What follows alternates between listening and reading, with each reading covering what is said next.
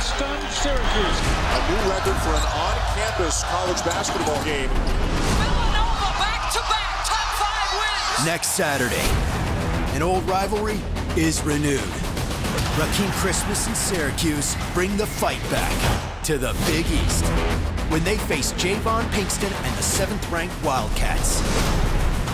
Next Saturday, Syracuse clashes with seventh-ranked Villanova on Fox.